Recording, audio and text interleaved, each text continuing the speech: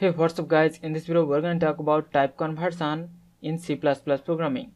The conversion of data from one type to another is called type conversion and there are two ways we can do the conversion. We can do it implicitly by using the implicit conversion or we can do it explicitly by using the explicit conversion or it is also called typecasting. So first we are going to talk about the implicit type conversion. The implicit conversion automatically done by the compiler and it is also known as automatic conversion.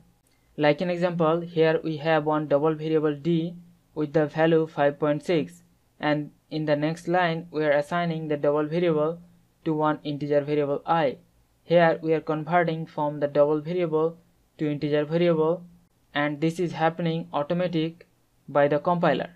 Like in another example we have one integer variable i which has the value 10 and then we are assigning the integer value to one double variable. So here we have one conversion from integer to double and which is happening automatic by the compiler.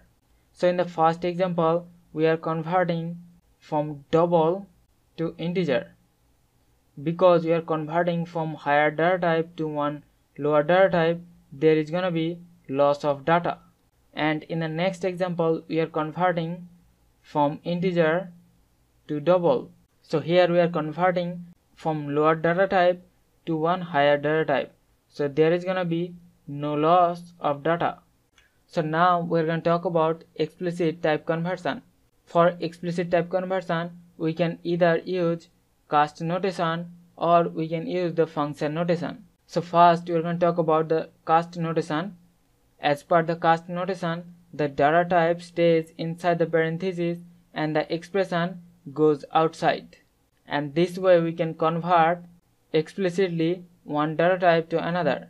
Like in example, here we have one double variable d which has the value 4.5 and then we are using the cast notation where the data type is inside the parentheses and the expression is outside the parentheses and this way we are converting the double data type to an integer data type. Next we are going to talk about the function notation where the data type is outside the parentheses and the expression goes inside the parentheses and this way we can explicitly convert from one data type to another. Like an example, here we have one double variable d which has the value 4.5.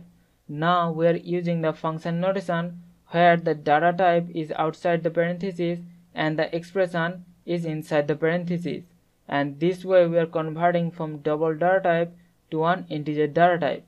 So this is the way we can use the different type conversion methods to convert from one type to another. So hope you understand the concept. We'll see you in the next one. Thank you.